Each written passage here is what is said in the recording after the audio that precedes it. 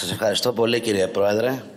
Πάντως, ε, κύριε Υπουργέ, κατά τη γνώμη μου, οφείλετε λίγο να βιαστείτε, γιατί ο χρόνος περνάει σε σχέση με τα πρωτογενή πλεονάσματα.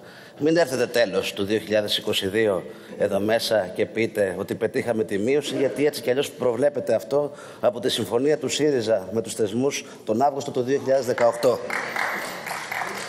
Κυρίες και κύριοι συνάδελφοι, θα ήθελα εισαγωγικά να κάνω τρεις παρατηρήσεις. Πρώτον, ο προπολογισμός κάθε έτους αποτυπώνει την πολιτική φιλοσοφία, την πολιτική στρατηγική κάθε κυβέρνησης.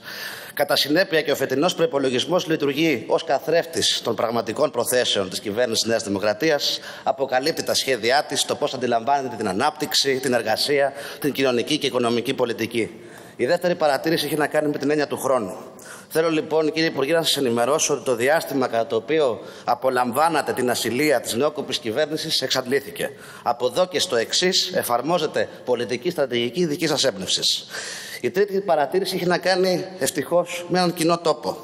Πιστεύω πλέον ότι η πλειοψηφία του πολιτικού φάσματος συνομολογεί ότι έχουμε αφήσει πίσω μας τα προγράμματα δημοσιονομικής προσαρμογής, καθώς υπάρχει πλέον η δυνατότητα άσκησης επεκτατικής δημοσιονομικής πολιτικής. Υπό λοιπόν αυτό το πρίσμα, αυτές τις μέρες συζητάμε τον δεύτερο προπολογισμό εκτός μνημονίων. Μένει λοιπόν να δούμε ένα πράγμα αν ο φετινός προπολογισμό είναι αναπτυξιακός, αν είναι κοινωνικός, αν δηλαδή με λίγα λόγια ενσωματώνει τη νέα συνθήκη, τις καινούργιες συντεταγμένες για την Ελλάδα που ισχύουν από τον Αύγουστο του 2018, χωρίς δηλαδή μνημόνιο, χωρίς αυστηρή και ασφεκτική δημοσιονομική επιτροπή. Κατά τη γνώμη μου, λοιπόν, κυρίες και κύριοι της Νέας Δημοκρατίας, ο φετινός προπολογισμό είναι προϊόν αποτέλεσμα παράγωγο δύο πολύ κρίσιμων αποφάσεων που πήρε η κυβέρνησή σας το προηγούμενο διάστημα και ήταν εξαιρετικά σημαντικές για το διαθέσιμο εισόδημα των πολιτών. Η πρώτη απόφαση ήταν να μην χρησιμοποιήσετε μέρος από τα τεμιακά διαθέσιμα που σας είχε εξασφαλίσει η προηγούμενη κυβέρνηση για να μειώσετε το πρωτογενές πλεόνασμα κατά 1% ήδη από το 2020, όπως είχαμε σχεδιάσει με τον εγγυητικό λογαριασμό. Με την απόφαση αυτή χάθηκαν για το 2020 2 δισεκατομμύρια ευρώ. Χρήματα που φυσικά θα μπορούσαν να είχαν διατεθεί για γενναιότερες ελαφρύνσεις και μέτρα κοινωνικής στήριξης. Η δεύτερη απόφαση ήταν να χρησιμοποιήσετε παραπάνω από τον μισό προπολογιζόμενο χώρο, δηλαδή να χρησιμοποιήσετε πάνω από 600 εκατομμύρια ευρώ για να μειώσετε τους φόρους κατά προτεραιότητα στι επιχειρήσει και τα μερίσματα που αυτές διανέμουν. Ωστόσο όμως, οι φορολαφρύνσει αυτές αφορούν σχεδόν αποκλειστικά τις μεγάλες επιχειρήσεις με την υψηλή κερδοφορία. Είναι, κύριε Υπουργέ, σκανδαλωδό χαρακτηριστικό ότι ουσιαστικά ανακουφίζονται 6.000 επιχειρήσεις που αντιστοιχούν μόλις στο 2,5% του συνόλου των επιχειρήσεων. Ενώ σχεδόν το 40% από το όφελος της μείωση των φόρων αυτών θα το κορπαθούν περίπου 200 επιχειρήσεις με τίσια κέρδη 7,5 εκατομμύρια ευρώ. Η ρεχοκοκαλιά λοιπόν της ελληνικής οικονομίας, που είναι η μικρομεσαία επιχειρηματικότητα, πάει περίπατο σύμφωνα με τον προπολογισμό. Και να φανταστείτε, κύριε Υπουργέ, ότι είχατε την τύχη να χρειαστεί να πάρετε αποφάσεις μόνος προς το πώς θα διαχειριστείτε και πού θα διαθέσετε τον δημοσιονομικό χώρο που παραβλάβατε, σε αντίθεση με την κυβέρνηση ΣΥΡΙΖΑ που χρειάστηκε να τον δημιουργήσει. Υπό λοιπόν αυτή την έννοια και σε σχέση με το πραγματικό προφίλ της ελληνικής επιχειρηματικότητας για το 2020 και για τα μάτια 6.000 επιχειρήσεων πανελλαδικά, όλοι οι υπόλοιποι χάνουν τη μείωση της προκαταβολής φόρου στο 50%, την κατάργηση του τέλους επιτιδεύματος, την κατάργηση της φοράς αλληλεγγύης μέχρι 20.000 ευρώ, την περαιτέρω μείωση του ΦΠΑ. Αποδεικνύεται λοιπόν περίτερα ένα πράγμα, η ένδυα στην αναπτυξιακή πολιτική. Λειτουργείται λοιπόν σπασμωδικά, χωρίς λογική και γεμάτη αντιφάσεις.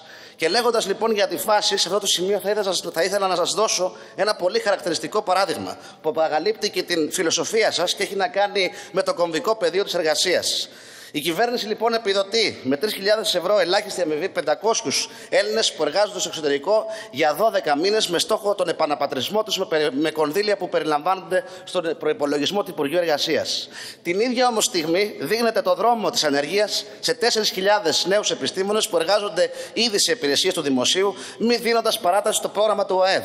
Ταυτόχρονα όμως μειώνεται και κατά 20% τα διαθέσιμα κονδύλια προς τον ΑΕΔ, ελαχιστοποιώντας με αυτόν τον τρόπο δραματικά να σχεδιαστούν ανάλογα προγράμματα απασχόλησης στο μέλλον.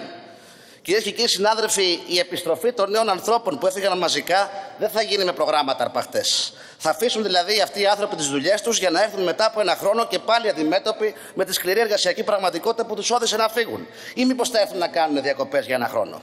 Οι επιστήμονες που έφυγαν θα έρθουν στην Ελλάδα όταν επιτέλους έρθει και η ανάπτυξη που ευαγγελίζεστε και υποσχεθήκατε κατά κόρον προεκλογικά. Όταν υπάρχουν σταθερές δουλειές με αξιοπρεπείς όρους και οι εργαζόμενοι πάψουν να είναι ευκαιριακοί και αναλώσιμοι. Για την ώρα όμως οι μπουλντόζες ακόμα μπαίνουν, οι μεγάλες εταιρείες ακόμα έρχονται, οι μισθοί συμπιέζονται, οι εργασιακές σχέσεις απορριθμίζονται και η Νέα Δημοκρατία κάνει το αγαπημένο του. Χρησιμοποιεί τεχνάσματα για να δημιουργήσει μια ψευδέστηση ανάπτυξης. Να δημιουργήσουμε λοιπόν, κυρίες και κύριοι συνάδελφοι, πραγματικές συνθήκες για την επιστροφή των Ελλήνων που έφυγαν τα χρόνια της κρίσης. Και όχι με φθηνά επικοινωνιακά τρικ να ξεχνάμε τους ανθρώπους που παρέμειναν στη χώρα τα δύσκολα αυτά χρόνια και επέλεξαν υπό εξαιρετικά αντίξοες συνθήκες να παλέψουν και να συνεχίσουν να ελπίζουν. Δεν σας βλέπω να συμμερίζεστε αυτή την άποψη.